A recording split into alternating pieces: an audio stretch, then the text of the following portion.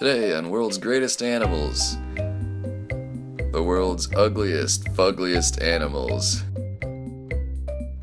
The California condor.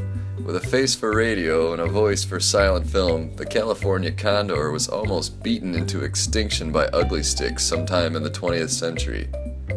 They survived, though. The proboscis monkey.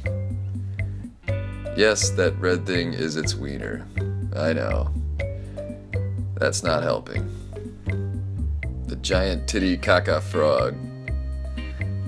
Kinda wrinkly, kinda ugly. Great name though. The aye some kind of primate. Lives in Madagascar, looks like a gremlin. Might chew your face off, I don't know. Blobfish. These unfortunate creatures almost look like they're aware that they're ugly, which makes me kinda sad. Monkfish. Kind of like the blobfish, but more rugged. Vampire bat. Scary, ugly, may bite you in the neck. Naked mole rat. Looks like a shaved scrotum. Wolf spider. Next. I don't even want to look at that. The star-nosed mole.